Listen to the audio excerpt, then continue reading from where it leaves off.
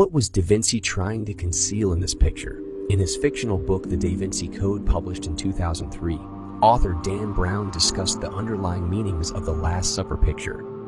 So, was that merely a work of fiction or not? Four years after the book's publication, Slavisa Pesci thoroughly examined the picture and made the decision to add a mirror image on top of it. Figures that resembled the Knights of Templar appeared alongside a newborn child, giving the impression that the painting had changed into a different image. But the most intriguing thing was that a chalice was suddenly in front of Jesus. According to others, Da Vinci may be pointing to the fact that the Holy Grail was not a cup, which is why it has never been discovered, and that the infant was thought to be a direct descendant of Jesus Christ.